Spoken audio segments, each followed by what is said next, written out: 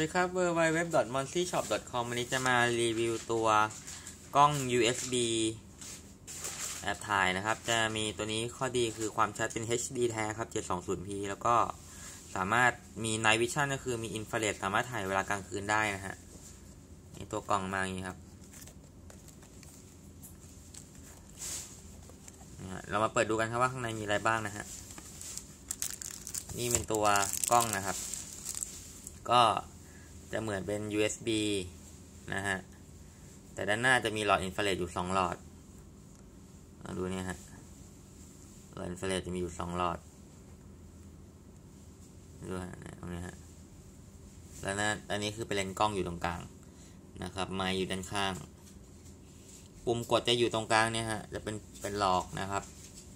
เดี๋ยวมาดูของในกล่องกันว่ามีอะไรบ้างนะฮะ ก็จะมีกล่องธรรมดา แล้วก็จะมีคู่มือให้นะครับ เป็นภาษาอังกฤษเดี๋ยวผมอธิบายเป็นภาษาไทยให้ง่ายโอเค หลังเราใช้งานเวลาใช้งานเราก็ถอดหัวมานะฮะเวลาชาร์จไฟแล้วก็เสียบชาร์จกับช่อง USB คอมพิวเตอร์ได้เลยครับเนี่ยฮะสามารถเสียบเข้าไปได้เลย ตรงนี้จะมีส่วนของที่ใส่ memory อยู่นะฮะไม่รู้กล้องโฟกัสหรือเปล่าแต่เดี๋ยวผมจะสอนใส่ให้ดู ก็ก็ใช้ memory เป็น micro SD card เล็กๆเงี้ยฮะ ยัดเข้าไป เอาเอาหน้าทึบลงนะฮะ แล้วก็กดเข้าไป มันจะล็อกนะครับ แล้วก็ปิดฝา วิธีใช้ง่ายมากครับ มันจะมีปุ่มอยู่ 2 ปุ่ม ปุ่มล่างปุ่มบนเนี่ยฮะ ให้เรากดตรงนี้ขึ้นมากดค้างนะฮะ กดค้างปุ๊บ จะมีไฟติดด้านข้างนะครับ ล็อบไฟเปลี่ยนเปลี่ยนเป็นสีฟ้านี่คือเข้าสู่โหมด ใช้งานคือโหมดสแตนบาย